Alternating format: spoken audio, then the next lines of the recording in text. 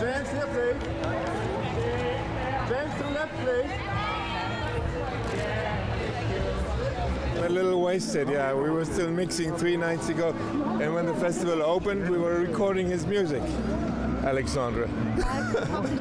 And you've got your cast here tonight. Is it going to be a a party of celebration watching the film and You bet. It'll be a long night, I think. I'm ready.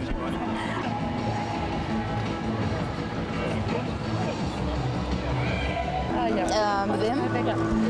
And then just the script, very um, spontaneously. I was attracted to the character and the, the storytelling is very particular.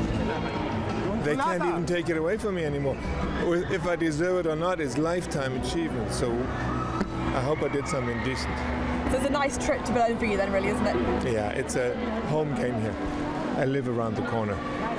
Perfect. James, on the right side, here, please. We don't have it. We don't have James, please. Thank you very much.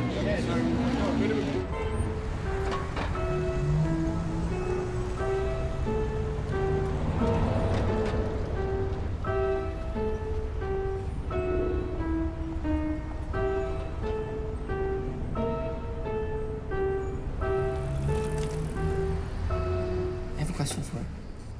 Um, there's a chapter in Winter where this man carries a boy on his shoulders.